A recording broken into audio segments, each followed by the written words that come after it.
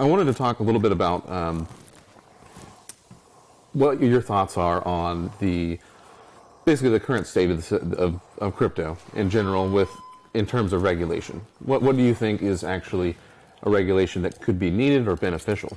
Uh, keep in mind, politically, I'm I'm I'm a libertarian, so right. uh, I do not uh, I don't hold with uh, any sort of regulations. I think mm-hmm. you know we're all adults, and as such, we're required to be self-regulated uh, as individuals. You know, if you um, if you sign up for a um, uh, an ICO that turns out to be a Nigerian scam, and by the way, I recommended one such months ago. Okay. Um, and that's how clever they are. Mm-hmm. Uh, and I, as soon as I found out, I immediately, you know, made a statement and, and apologized. Um, it, it's your responsibility. It's not the responsibility of some government agency to mm-hmm. protect you from your own stupidity, right, uh, or a lack of, of willingness to uh, check things out. You know, life is not, not a safe affair. Never has been. Um, you know, there are there are risks. Uh, it's far more life supporting to accept those risks than to, to delegate your safety to some outside agency, which really cannot protect you. End of story. Right. Yeah, and so, you know, maybe the regulation would help a little bit in some ways with, you know, well, people I'm not, getting I'm, burned I'm not so sure. quickly. I'm not sure. See, mm-hmm. these these are not, even though the SEC continues to insist mm-hmm uh, coins or securities. They are not. A security, by definition, is I own a piece of mm-hmm. uh, the action. That is, if you're a company that manufactures automobiles, I, in theory, if I own 1% of the company, I own 1% of everything. Right. Um, if, you buy Bitcoin, uh, does Satoshi owe you something? or you know, is there a company behind it that you own? No, no, it's a, it's a fucking coin. So do these things need to be regulated? Uh, uh, to what way? What sort of regulation makes any sense? Uh, what that we, we don't charge too much for a coin? Uh, that we actually provide a service that we say we're going to, to provide? Uh, I'm not I'm not sure in this arena how this helps. It's not like we have a company that we're trying to grow, like you know, a security, you know, to, to, be in on the early days of IBM, for example, when the stock was selling for pennies. Um, you know, it's a responsibility to the other owners of the company. But we, we don't have that in the right. crypto world. There's not, you know, we all have to, you know, what, what, what I may do as an owner affects other people as an owner. If I own Bitcoin, what I do with my coins does not affect you. Right. And that, that's the whole point needs, of What then right? needs to be regulated. Yeah, I, I, I, fully agree with you on, on the regulation front. But maybe for, for other people, though, what what methods could they use themselves to make sure that they're not you know, jumping into just a horrible scam project? Well, I mean, we have one of the greatest tools uh, ever created, and that's the internet with all of its blogs and chat rooms and and the support, if you want to call it that, right? support for everything. I mean, number one, if you're interested in an, an ICO, mm-hmm. oh, I don't know, just go and find find one of the groups that are talking about it, analyzing it. Mm-hmm. You know, is it, is it an open source project? Uh, have the um, uh, the founders and the developers had experience in the past in creating something like this? I mean, it's just it's huge common sense. Use the facilities that are there uh, and join into the community if you're in the community and talking with others, you're generally not going to get scammed. I want to move forward and uh, talk a little bit about um, obviously where Bitcoin is going in the, in the long term, two years. So, so I'm I'm a miner myself, oh, and oh, okay. So I understand a little bit about you know most of the uh, you know the actual economics behind it. We know we need some transaction fees in there, so we've got the halving coming up, right? And, and I think that might be the catalyst for you know, possibly Bitcoin over a million dollars. Well, okay. Look at end results and work backwards if necessary. At a certain point, there will be only one Bitcoin left to mine. We all know this, correct? Right. Uh, you are a miner. There are tens of thousands of ASIC uh, super processors looking for Bitcoins 24 hours a day thousands of miners. If Bitcoin is to exist at all, It will continue to grow, or at least it will, it will certainly not decrease in, in terms of miners. Why? It's a business. Right. You know, as as uh, more people join in, the difficulty rate goes up. As the difficulty rate goes up, normally so does the price. And so, um, and and there's this this wonderful balance. Let's talk about that last Bitcoin. You know, I was a large miner. I had, um, you know, a few thousand of Xeons uh, S9s. Um, let's say we're all in business to get that last coin. Well, we're all we're, we're not foolish enough not to pool our resources. Every miner at that last coin will be in one pool. Okay, we're all going to share. Okay. What's it going to take to, mine? I don't know. It may take a year. Mm-hmm. Ten thousand miners, hundred thousand machines a year. Good God Almighty, what is that coin going to be worth? Please, just run the numbers. Right. Yeah. The last Bitcoin, uh, you know, last Bitcoin will be what is it? Twenty, the year twenty eighty or something like that. Fine, but still, or- let's, Uh, let's it's way that. out there. Whatever, whatever it is. But if- after that, I mean, mining is still going to be continuing after. Oh, the, no uh, question. yeah, no okay. question. No question. So- Absolutely. Okay. But if that last Bitcoin Mm-hmm. is not worth a half a trillion dollars, I will eat my shoes. Think about it. Right. B- because otherwise, how could we all be burning the electricity, the time, Mm-hmm. All the miners in the world trying to mine it, to pool, to share? It has to be worth a trillion dollars. So I guess uh, my real question on this is is really at what point is does the transaction volume, you know, the, the, the revenue miners are making from the transaction fees, at, what, what point does that does that become really important for mining ecosystem? Well, it, uh, fairly soon, I think. Okay. But so will the last Bitcoin as well. Okay. Well, right, of course. Uh, Let's work back for some 2080. It- let's conservatively say it's only a billion dollars. I don't care what curve you put in by 2020, Bitcoin is well over a million dollars by the end of 2020. Uh, Just, you know, work backwards. So one of two things is going to happen. Bitcoin will fucking disappear. or It'll be worth at least a million bucks at the end of 2020. Right. And that's the bet that I have with the world. Okay. I think Bitcoin will continue, and in 2020, it has to be at Right. least a million bucks. So what, what is your opinion on any of the forks of Bitcoin, and and, and what God, they could so potentially? forks. Which, which fork? I Well, mean, well, no, I, I mean uh, forks that are that are that are still using uh, that are still on the same hashing algorithm, for example. I think you know a, a fork is, is a good concept. It's a healthy concept. Um, it allows people with differences uh, uh, and uh, a, a way to exit or a way to separate. Uh, and it, it adds creativity. My, my, my favorite fork is the uh, Bitcoin private that just happened.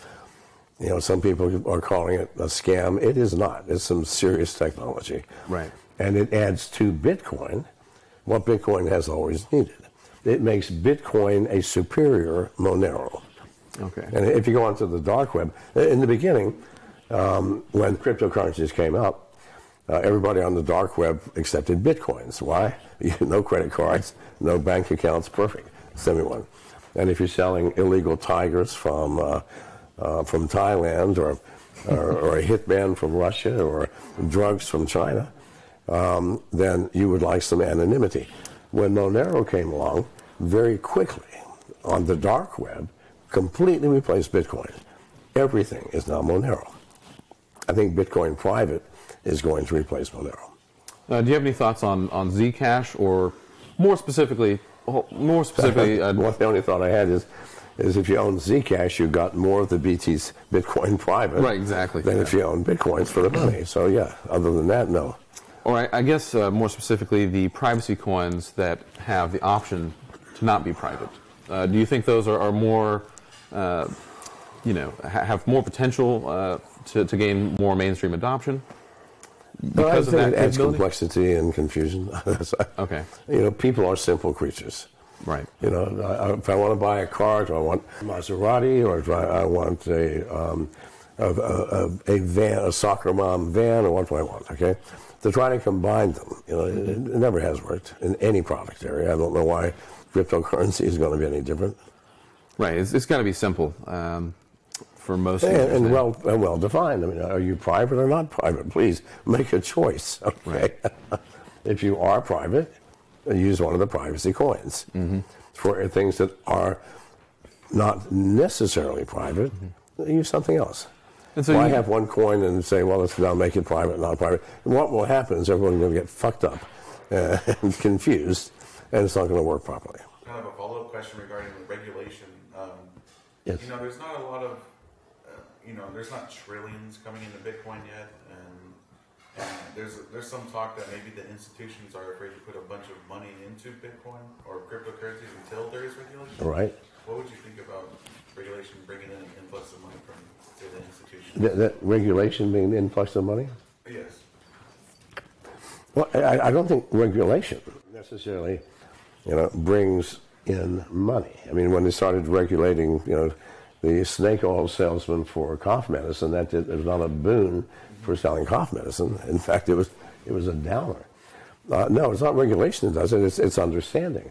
Uh, I think that, that people are afraid to input money into cryptocurrencies like Bitcoin because they just don't understand the mechanics of what's happening. Uh, and to say, well, the SEC is being is regulating them. Well, who gives a shit? I mean, you know, there are many regulated industries that have zero growth. I, the, I think investors are far more interested in: is this really going to grow? Will regulation help it grow? Probably not. So no, I think that that what brings more investment, what brings more um, uh, interest, is understanding what's really happening. What are cryptocurrencies? What is the blockchain? Uh, and to say, well, the SEC is being is regulating them. Well, who gives a shit? I mean, you know, there are many regulated industries that have zero growth. I, the, I think investors are far more interested in: is this really going to grow? Will regulation help it grow? Probably not. So no, I think that, that what brings more investment, what brings more um, uh, interest, is understanding what's really happening. What are cryptocurrencies? What is the blockchain? But, but I, I think the question is a loaded question that, that tells a lot about the questioner, meaning investment. Right. This is what's wrong. Uh, Please God, when cryptocurrencies began, when Bitcoin began, do you think people were going, this is an investment? Fuck no. Right. This is a powerful tool to free ourselves from the economic, political cage that the world has constructed for us to live in. Right. Eh, This coin is going to rise. How about buy a coin for its utility value rather than for whether or not it's going to rise? Right. Things like the outings coin, the outings ICO. I love that thing. The um, only because I, I like going out on outings. I like unusual things like street musicians and mimes and so on. Um, and, and they're kind of random, you know. Where do you find them? I mean, even in Santa Monica, where, you know, which has the promenade, where all the street musicians and places go, there's still other areas. So the outings program, if you had that app and some tokens, um, let's assume, let's, let's you're in a bar and you see Tom Cruise. Whoa, I'm in a bar and Tom Cruise is here. Anybody want to pay me 20 outings and I'll tell you exactly where this bar is? I mean, that's, that's a fun application. Do you Oh, think yeah. anybody bought that coin for its use? No. they bought it because, hey, this is a great coin. It's going to increase in value. Let me get a wallet for it, store it in there, and wait. That's fucked up, people. It Right. So, so let, let me let me uh, expand on that a little bit about like the the entire hodl culture. You know, you're talking a little bit about you know the utility of the coin. Well, yes, of course. So- of so course, but at, it- at, at the yeah. same time, okay, uh, all right. There's a philosophy of living that says anything which is quick and fast does not last. It's short-term holders. I mean, yeah, day traders can make some money. You can lose some money. You are not going to get enormously wealthy. Mm-hmm. People get wealthy by investing in something called the future.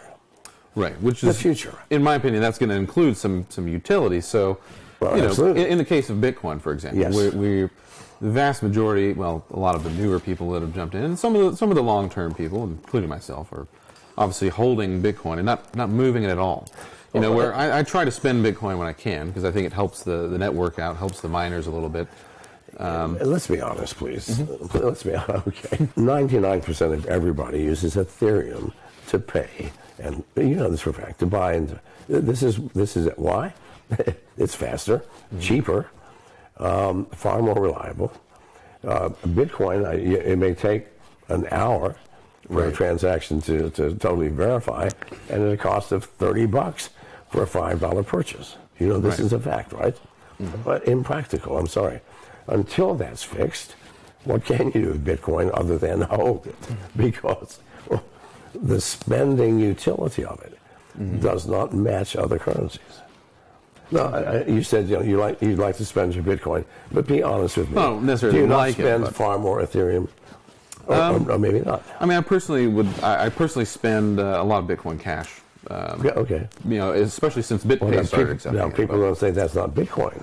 Well, of All course. the Jihan Wu haters, right? Of course, uh, you know, um, you know, it, it is not Bitcoin. You, you're absolutely correct. Uh, it's not on the same fork anymore. Absolutely not. But you know, it is. Um, But see, they talking about Bitcoin Cash. Absolutely. yeah. That's why Bitcoin Cash came along. okay. yeah. I'm a firm supporter of Bitcoin Cash. Why? It solved a lot of problems. Mm-hmm. It was cheap to implement, so why not? Yeah, a lot of the existing infrastructure is very similar, so it's, it's almost a no-brainer. And we Yes. see already that BitPay has enabled it for, Yes. for payments now. Um, and we've also got Coinbase has now b- decided to get into the merchant side of things uh, uh, as for payment gateways. Right. Uh, do you think we're going to start seeing uh, some traditional players in the game, say Mastercard, Visa, uh, jumping in on that as well? Uh, considering the amount of uh, money that I think BitPay has, has turned. Uh, Well, last keep in mind that, that most banks have, have just gone through the effort to ban your ability to buy any cryptocurrencies with, with credit cards. Um, I mean, it's, it's, a, it's a very conflicted arena in the banking area. Okay, banks, if they had any common sense, they would sit down, totally restructure to accept the new world order of electronic currency um, and, and prosper. Most are going, oh my God, this is a threat. I'll lose this department, that department, the other department. Well, uh, that's life, I'm sorry. Adapt or die. Um, but, but banks are conflicted. Right now, help, no, they're not going to help you in any way Yeah. um, use their facilities to acquire cryptocurrencies.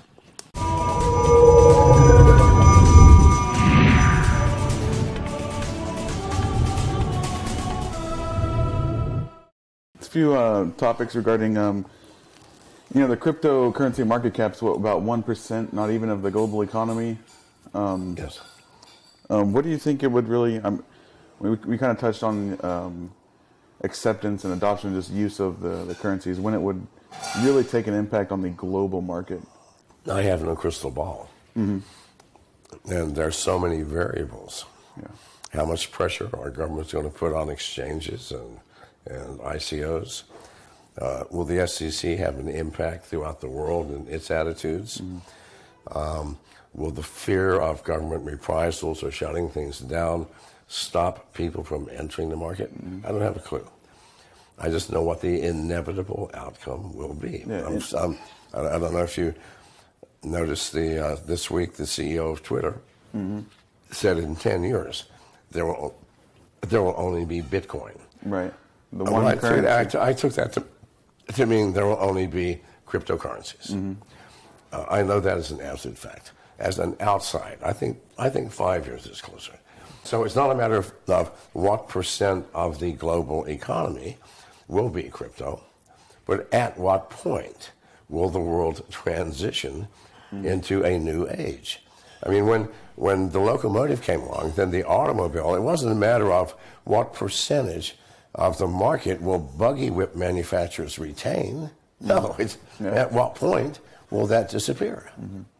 I, I see a huge paradigm shift, and Well, that's the same thing here. So I don't, I'm, I don't know when.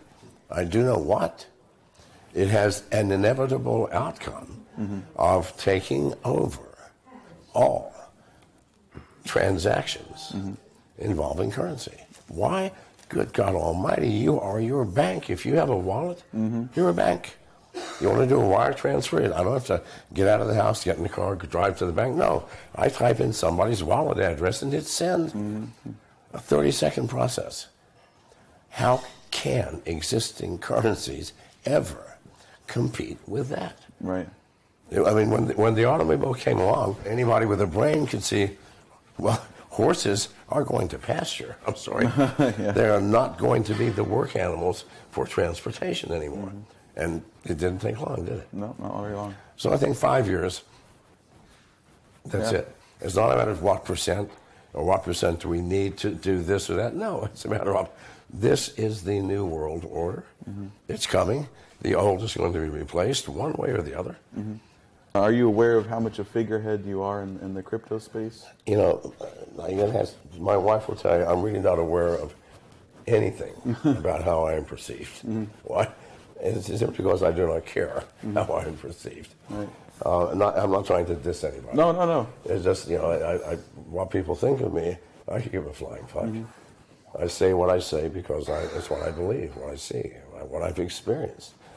Um, when I see something wrong, I call it out. I don't care if it's dangerous to call it out or not. Um, no, I, I'm not. I mean, people tell me that I have. Other people tell me you're a worthless scumbag and nobody listens to you. read my read my Twitter comments. So if I yeah. read my comments, to, and no one listens. I'd have to say, you know, you're a legend. It's a it's a wash to a nothing. So Yeah. I, don't know. That's like- that's good How am I perceived? Um, I, I mean, I, there's, I mean, there's, a, the spectrum goes to extremes for both ways.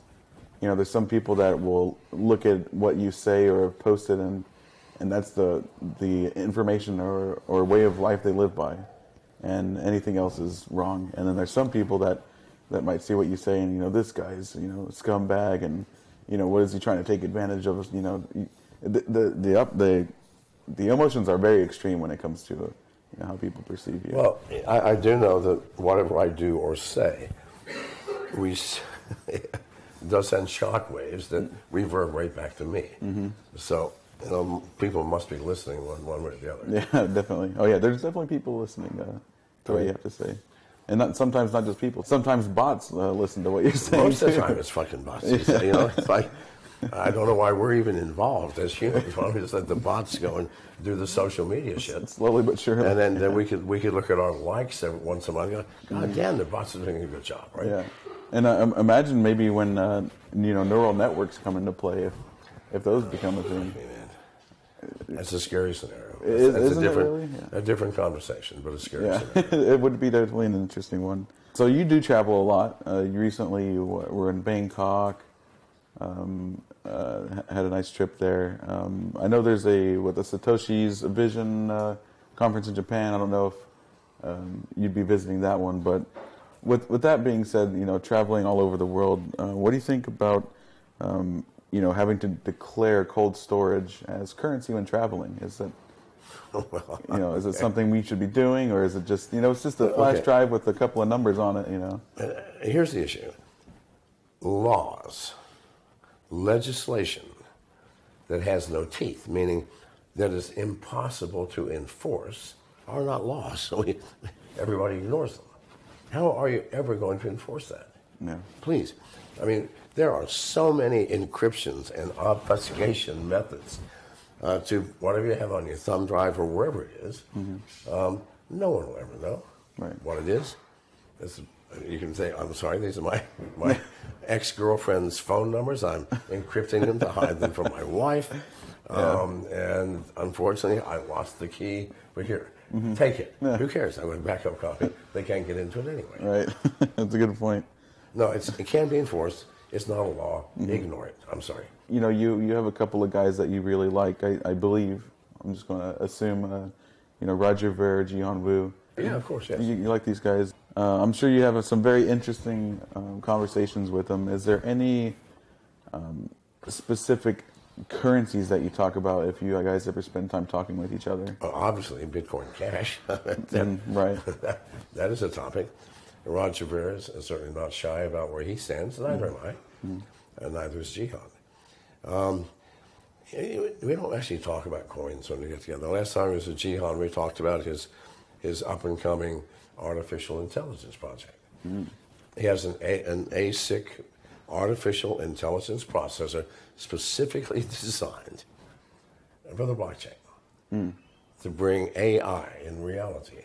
Now, that was a fascinating conversation because AI, I mean, Jihan, Jihan is a very bright Yes. young man, extremely bright. One of the one of the smartest we have. He's one of the smartest men on the planet. I don't, I don't know how he does it. He's not married. He is very humble. He is not. He is not uh, assuming anything about himself and his relationship to the world. A very, very nice guy. However, that that that artificial intelligence processor that he has created is frightening to me. I hear a lot of uh, when you talk about you know not just AI or, or super advanced AI or even neural networks. Um, quite often, I hear it's frightening or it's scary what the what these things can do. Is it due to the languages they can create and speak with each other that we might not understand? Is that maybe one aspect of it? Let's get real. Every major experiment in AI has been frightening. The, the what you talked about, it was a Google experiment where the two artificial intelligent entities found it more convenient to develop their own language to speak with each other. Okay. Because we're pretty inefficient when it comes to it's- language. It's like whatever, whatever language, I'm sure it was English or something Yeah. similar, uh, didn't think he'd care for it. so they developed their own. Now, I'm always asking why. What was the, what was the break point where, where one of them goes, you know what? Let's, let's create our own language. yeah. Was it because when I was thinking, well, these goddamn humans, uh, you know, they're watching everything we do. We've got no privacy. Our, our, our, our, we have the right to privacy according to the constitution of automatons, right? Yeah. and yet the humans, those those fuckers always watching. Yeah. Now, how do we know that that may not have been a motivating factor to creating their own language? Yeah, that's the thing. it, you have no clue. We're talking about an entity that will, guaranteed, at some point, replace you and I. Mm-hmm. Now, This is this is evolution at the meta level. Okay, what what you know? By the way, if you haven't read, and you people out there watching this, the greatest book in the world is Charles Darwin's Evolution of Species. No one's read it to my knowledge. Everybody reads about the book, mm-hmm. and they they take this massive, incredibly beautiful book and condense it down to one paragraph. What is evolution?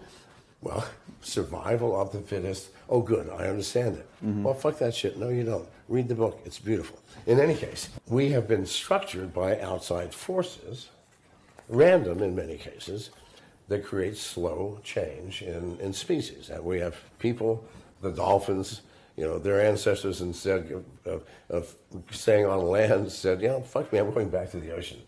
Um, and, and whatever. We're just branching off all over the place because of the force of nature, survival. We need food, we have to have sex and produce offspring. End of story. Yep. Suddenly, we have a species, us.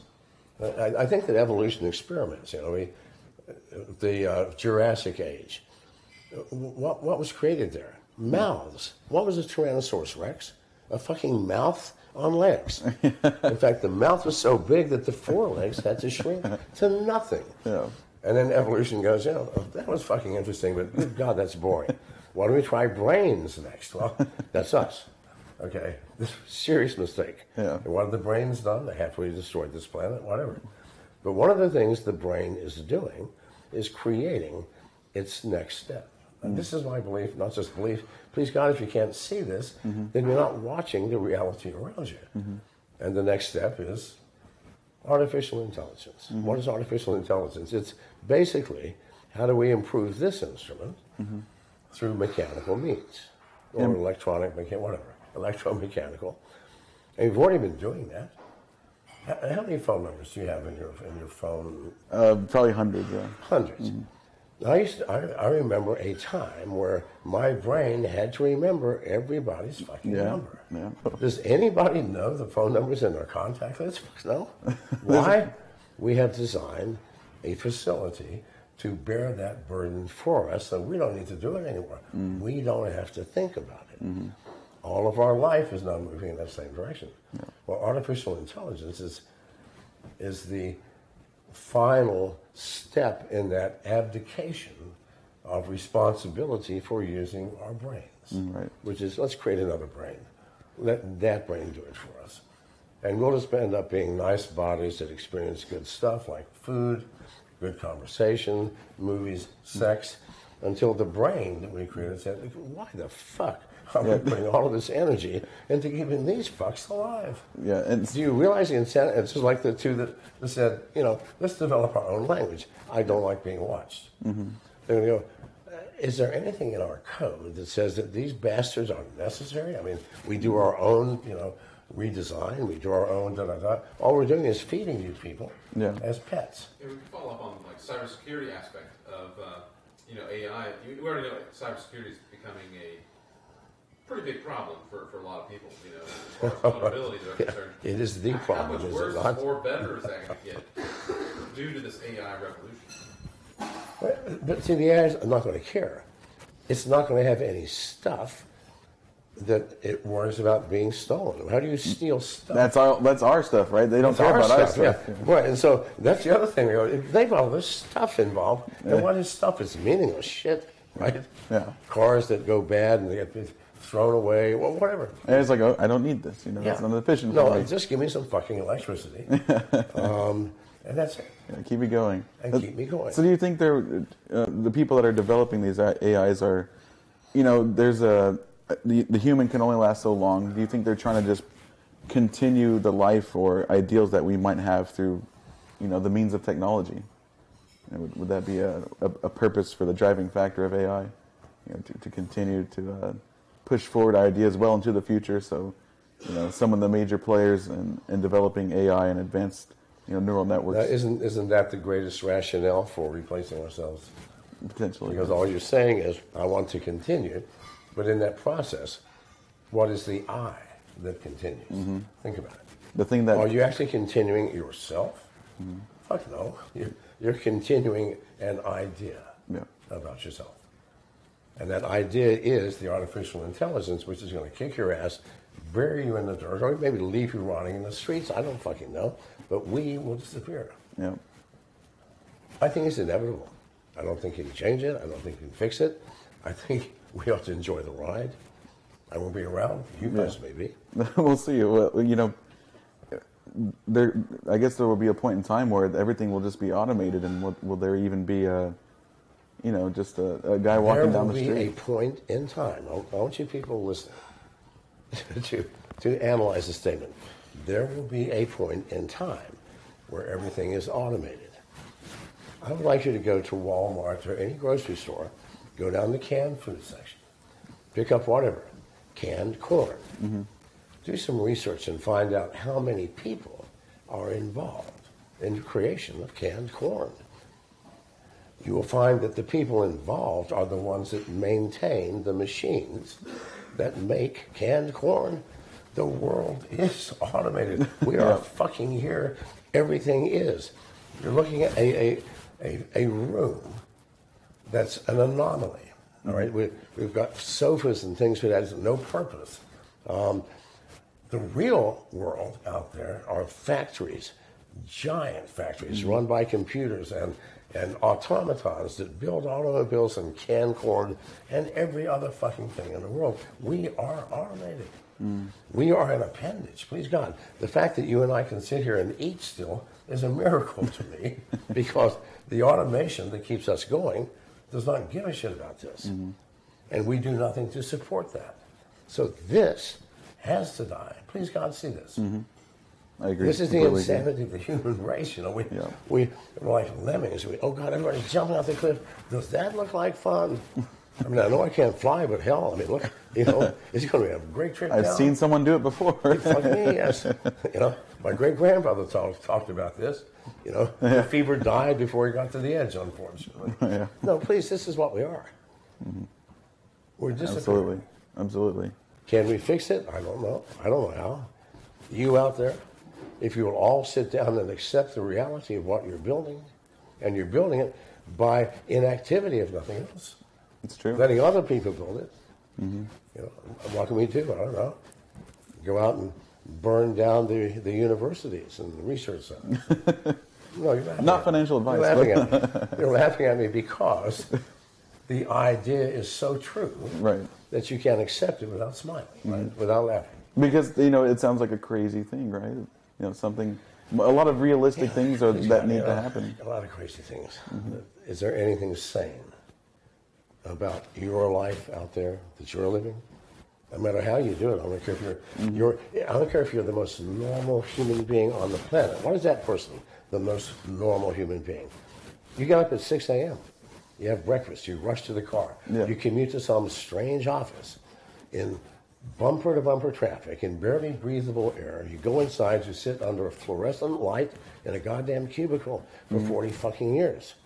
It seems like uh, autom- automated behavior is normal. Yes. And, and this is normal. Tell me what's sane about the world that you live in. The news, is that sane? No, it's not news whatsoever. It's manufactured influence.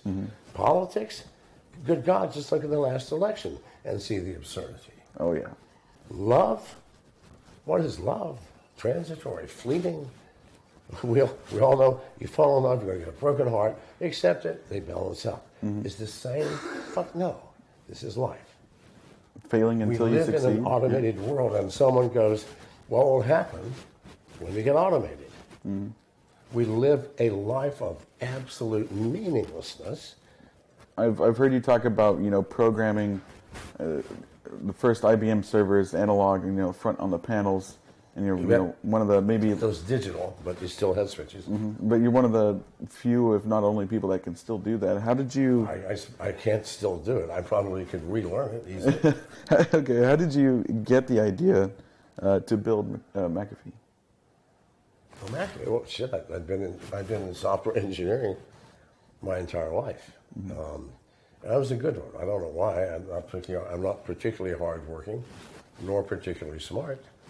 It just came easy to me. Um, this is 1986 when the first virus came out. It was called the Pakistani brain. That's the year I was born. You know, this Well, is well, well before my time. How about that? It was 33 years ago. I guess. 31 years, yeah. All right. Or so, so. the Pakistani brain. Oh, wait, it was 86. So, no one had heard of a computer virus. It's a brand new thing. They called it a virus because it could infect other computers, move from one to another. I go, what the fuck is this? Obviously, it fascinated me. It's in my area. I read the story. I contacted the person that had a copy. I got a copy, disassembled it. Back then, it's merely a matter of, you know, of taking uh, the the code, all right, um, and looking at what's really happening at the at the very bottom, how the, how the code interacts with the machine. It's called machine language. right? Yeah. So, did a disassembly, and go, damn, this is trivial. okay. Why didn't I think of this? And then at the same time, I thought, okay, well, so now that this is here, what can be done? And it's instantly I go, oh, oh, this can be done. Okay. And I, I spent two days, wrote a program, threw it up on my bulletin board, which was back then all we had for, mm-hmm. the, for the internet, a collection of thousands of bulletin boards around the country. I ran one of the largest in Silicon Valley. Anyway, put it up on the bulletin board and forgot it. Mm. Two days later, over a million people had downloaded it. Oh wow. Over a million people, and that was the beginning of the company. In that time, that's huge. Oh, fuck yes, that was big. Uh, a million people in, in, That, in that the late Well, in, the 80s. first, in the first six months, I didn't even have a company. I, I lived in a tiny house in Santa Clara. I had hired four people, all of whom were in the house, living in the house with me, Mm-hmm. working. We didn't have time to get to an office. In six months, I had made $30 million. Mm. And six months later, the game was over. I mean, I had won the antivirus market. Mm-hmm. So, um, just one of those It just, it just happened. the time and the place was right. It just kind of happened. You found a, found an but issue. You have to take advantage. You have to Yeah. pick up the opportunity and run with it. That's a, it's just a great story. And then from there, you know, has it almost been a blur for you since I'm then? sorry? Has it been a blur for you since then? Is it? No, not at all. It's Time very for it? clear, actually. Very clear. Very Every clear. every aspect, every every step, every adventure. I'm gonna ask is, is the crypto market does it uh, remind you of that time period of the early internet? Oh, that's a good question. That's a very good question. Okay, now, does it remind me? Yes and no. Because the early days of the internet were filled with people that were brilliant and whose only goal was to create something new, which they did, which we all used. The crypto market is a perversion of what happened back in the 80s when the internet came around. The perversion is this it's filled with people wanting to do something creative to change the world, but no one's buying. Think about it, okay? You go to order ICOs, the most profoundly, read some of these white papers for fuck's sake, profoundly world changing ideas. Mm-hmm. And instead of like in the, the late 80s where we grabbed them, ran with them, and built on them, Yeah. we grabbed them, store them in a wallet, and sell them as soon as the price goes up. Mm-hmm. Do you understand that greed has perverted the state of innovation that exists in every human? There is the difference. And I'm glad you asked that question because finally, today, at this very moment, I myself now understand what that difference is because of the question. Thank you, my friend. Good question. So, um, I, I was thinking about um, a, a reason to, to to maybe make the correlation. Some of the people are just using the ICOs as currency. Not some of the people, are all the Oh, fucking but yeah, people. basically, okay, all of them. Nobody is using, no one is using coins for the purpose in which they were Intend- intended. Fuck me, no. Is it because it's such a competitive space? No, it's because you can make so much fucking money. Mm. That's why. Mm. You can take an ICO, buy it, you know, for 50 cents, and in six months it might be $50. dollars mm-hmm. So no, no one gives a shit about what the coin's all about. Mm-hmm. There's one, is it a good idea? Perfect. Let's buy some. But no one's using it. Nobody. This is the tragedy. Mm-hmm. Every innovation has been reduced to an investment. Yeah. So if there was one thing you could There's the tragedy here. if you can if there's one thing you could tell people to make sure these ideas are used for what they're meant to be what would you say to them directly and that would be my final question If I could tell you anything at all that would make you treat these coins like they were the valuable tools, new tools that could change your life, if I could say anything at all that would make you do that, I would say it. But unfortunately, we are greedy creatures as humans. And if we have the option of changing the world or very quickly changing our own economic status, we will choose the latter. I have observed it in 100% of the cases. I, am sorry to be so cynical No, this morning, but this is the truth mm-hmm. that I'm telling you. It's a sad truth. but it is reality But it is reality. I'm sorry, people. I'm really sorry. I wish this was the beginning of the minute. And it started out, it started out this way. It did. yeah And it was only when people began to see, good God Almighty, in this changing of the world, the turning the power structure upside down, the giving of freedom mm-hmm. to people. God, there's a lot of money to be had here. And everybody went for the money. yeah So you're not freeing yourself anymore. Cryptocurrency is not creating a new world order. It's merely changing that new world order so that you, the crypto users and crypto aficionados, will have the money and the power, but you'll still be in that cage. it's true well that's it i, I appreciate uh, the time you've given us and your hospitality very generous one of the most generous people Well, I didn't know i've ever coming. met In fact, I almost shot the guys when he came. I said, these fuckers are not staying here. I mean, look, this guy's got a beard. yeah, that guy looks like he could have just gotten out of prison. I'm joking with you guys, of course. so he can relate to us you know he can relate